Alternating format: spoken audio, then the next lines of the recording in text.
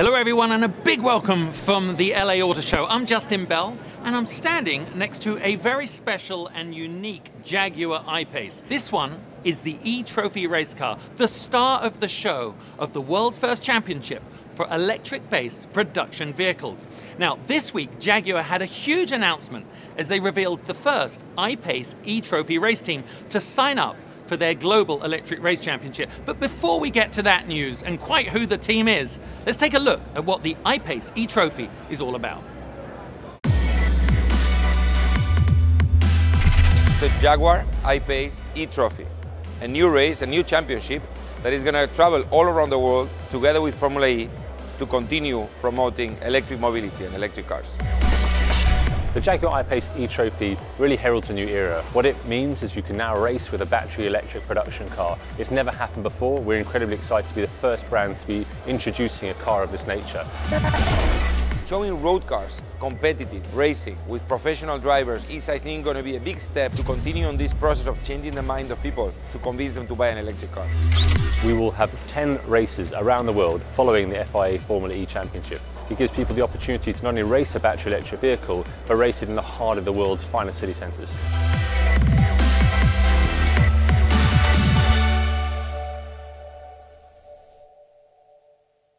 Well, how exciting and dynamic was that? It is the Jaguar I-Pace E-Trophy. It is the support series to the Formula E Championship and the first to be based on street legal production battery powered vehicles. Now, each race is going to be on the same race weekends, on the same city streets throughout the 2018 19 season. Now, the series will exclusively feature 20 of these I-Pace e-Trophy race cars, really giving teams to showcase exciting new young driver talent. At the same time, of course, the ultimate in electric car performance. But remember, they are on the world stage of zero emissions motorsport. Now, last night in downtown LA, we hosted an event where we made the big announcement one of the top racing teams in America has signed on to lead the charge for the 2018-19 I-Pace E-Trophy Series. It's a racing legend that is behind it, and in a minute I get to talk to him. But first, take a look at last night's announcement. The first championship race starts in November next year, 2018.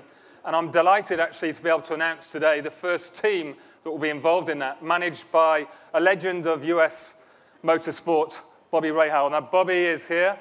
Come up on stage, Bobby. How you doing? I'm doing great. How are you? Yeah, good. You're looking good as I, ever. You've got lots of history, mm. but what was it that got you interested in the, the, what I would call the future of motorsport? Well, I think that's just it. It's the future of motorsport in a, in a big way. Obviously, electrically powered cars are going to be a big part of our future, and uh, to be involved in that and the development of that, uh, the evolution of that, whether it's in racing or on the street, is uh, something that I found very attractive. We're very, very excited about this, uh, this new uh, venue, this new part of the sport, and, uh, and look very much forward to our, our first race about a year from now. And you've got a reputation of bringing great new drivers. Are you uh, got any good plans there you can tell us about, or is that uh, under wraps at the moment? well, as it was announced today, my phone started ringing off the hook, as you might imagine. I think Excellent. it's going to be very exciting.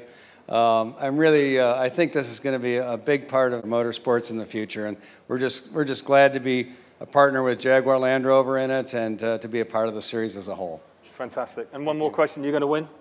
Well, of course. Of course. Excellent. Okay. Ladies and gentlemen, thank you much. Bobby Rahal. Thanks, Bobby. Now, when we said special guest, we really meant special guest. Bobby, so good to have you here. Thank you, sir. Obviously, as part of the Jaguar Racing family now. Uh, I really want to emphasize for people that I don't know if you've been living under the rock for the past few decades, but Bobby Rahal is literally one of the most iconic, legendary race drivers in American and world history. I mean, IndyCar championships, you've raced in Formula One, you've raced in sports cars, mm-hmm. and this is a whole new era now for, for your race team. It is. It's, uh, of course, the first step into uh, electric racing, uh, so to speak, and, uh, uh, and also really the first step for us internationally in a series that has international basis, uh, which is exciting for me personally, professionally course, as you said, you know, we've been involved in Formula One before. We've been involved in uh, sports cars before, which had, you know, a, there was a big international involvement there. But uh, but certainly for us at Rahal Letterman Lanigan Racing, this is a, a great first step for us, and we're, uh, we're very excited. Now, obviously, being on the front line of a new technology uh, with a brand that is really pushing the boundaries, that's really what your team has been preparing for all the way through. I mean, right. everything you do with every manufacturer you work through, you, are always crossing new boundaries. Right. How is the team galvanized around that?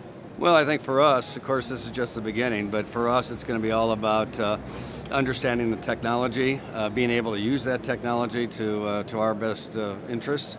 And, and frankly, I think uh, out of it all comes, uh, collectively through this whole series, uh, further uh, evolution of the electric car program, and uh, that's what makes makes it exciting for us. I think to play a small role in that. Certainly, Jaguar is leading the charge, so to speak, in that uh, in that area. But but for us as a team, we're very we're very pleased to be involved in the series, and can't wait to get going. You say you mentioned obviously that being a part of it from the ground up is important, mm. but you've always prided yourself on testing and development. Your drivers, right. the drivers you have right now in the IMSA Championship, are very uh, good at development. How is that going to translate? How important is that for E Trophy to have mm-hmm. you guys involved? do You think? Well, I mean, there are certain you know limitations, like there isn't any formula today uh, that uh, that will uh, that will you know that every team will have to live up to. But that's not to say that you can't, uh, you know, you can't look at that, that automobile and say, okay, how can we make it better within the, the, the framework of those regulations? And that's where the real challenge is. And that's where you really find, you know, those people who are really imaginative and creative. And, and that, there's a great deal of satisfaction that certainly I derive from that when you see your, your car, your team's cars out there leading the, leading the way. And uh, uh, you know, we're anxious to get to, to, get the car, anxious to see it, to understand it, and uh, hopefully by doing so, by being the first team in, hopefully uh, we'll have uh, that little bit more of a head start on everybody else. Head starts are always what Bobby's looking for, but the car looks fantastic, yeah, doesn't it? it does. I mean, obviously it's it's got the right stature.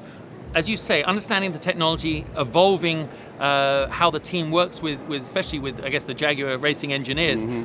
But strategy, every time you watch Bobby on the pit box during a race, I'm in the pit lane and I see him at work, calling a race, under, pulling on all those decades of experience is a very important part of modern motorsport. I think in this, in the E-Trophy, that's going to be uh, even more exaggerated. No, for sure. And, and again, there are limitations as to what you can do. Uh, as a team to the car. So it's really going to be who can kind of harness what they have. Yeah, literally. And, and uh, yeah, literally, and uh, and be able to. Uh, uh, you know, be able to use that uh, a, to be successful. So I think the, the, some people might be looking from the outside in and say, oh, there doesn't really seem to be much uh, complication to it. But you know, I think there's more complication oh. to those kinds of categories than there is in, say, Formula One or what have you, which seemingly has no complications. So yeah. it's uh, it's uh, it's going to be very interesting, and uh, I'm anxious to see who else is going to jump in yes. the pool with us.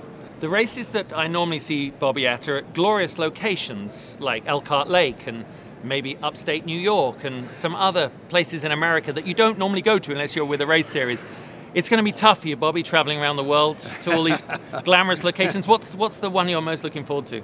Well, you know, of course, uh, we don't know the exact schedule for uh, for the 18-19 season, but you'd have to look at what they're where they're where they're performing today. Of course, Singapore, Hong yeah. Kong, uh, Marrakesh. I mean, you, the, the list of uh, venues is really uh, it's something else, frankly. And and uh, I think for me, uh, uh, you know, to go to uh, Singapore would be very interesting. To yeah. go to, uh, I think we're in Berlin, uh, or they are this year, and I presume we'll be back there next year. Um, of course, Berlin's a very famous city. I've been there briefly. I'm looking forward to that. But to be honest with you, where these venues are in the hearts of these cities all around the world, that in itself is a big draw for the fans, I believe. But you know, for me, I've been racing a long time and it still really really uh, gets my passion, my juices flowing to be yeah. able to say, oh, we're going to Marrakesh, we're going to uh, Madrid, we're going to you know yeah. wherever it may be.